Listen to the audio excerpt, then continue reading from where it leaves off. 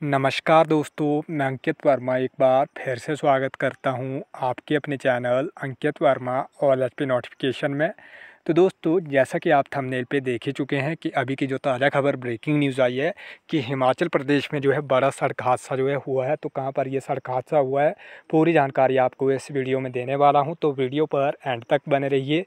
अगर आपने अभी तक वीडियो को शेयर नहीं किया तो वीडियो को शेयर कर दें और Ankit Verma all H notification को सब्सक्राइब करना बिल्कुल भी ना भूलें, ताकि आप तक हिमाचल प्रदेश की हर नोटिफिकेशन सबसे पहले पहुँच सके। तो चलिए दोस्तों वीडियो को जो है शुरू करते हैं। तो देख सकते हैं, हिमाचल प्रदेश प्रदेश के डिस्ट्रिक्ट शिमला से न्यूज़ है कि शिमला के ननखड्डी में हादसा, कार के नाले में गिरने से दो की मौके पर मौत। तो कार की आप तस्वीर देख सकते हैं।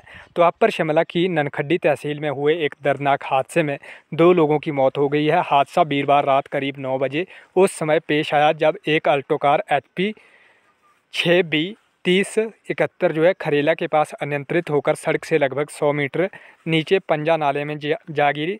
कार में दो लोग सवार थे, जिनकी मौके पर ही मौत हो गई। मृतकों की पहचान सतपाल बतालीस वर्षीय पुत्र मोहनलाल और नित्यानंद अठतीस वर्षीय पुत्र केवलराम निवासी खरेला तहसील ननखड्डी के रूप में हुई है। उक्त दोनों बागवान जो है बताए जा रहे हैं। डीएसपी रामपुर चंद्रशेखर ने हादसे की पुष्टि की है।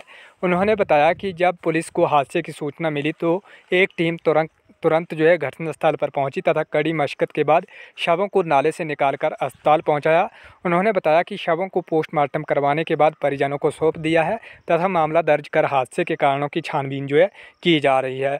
तो इस प्रकार आप देख सकते हैं, हिमाचल प्रदेश के डिस्ट्रिक्ट शिमला में जो है ये हादसा हुआ है। अगर आपने अभी तक वीडियो को शेयर नहीं किया है तो वीडियो को शेयर कर दें और अंकित वर्मा और एच नोटिफिकेशन को सब्सक्राइब करना बिल्कुल भी ना भूलें, ताकि आप तक हिमाचल प्रदेश की हर नोटिफिकेशन सबसे पहले पहुँच सके। धन्यवाद, जय हिंद, जय भारत।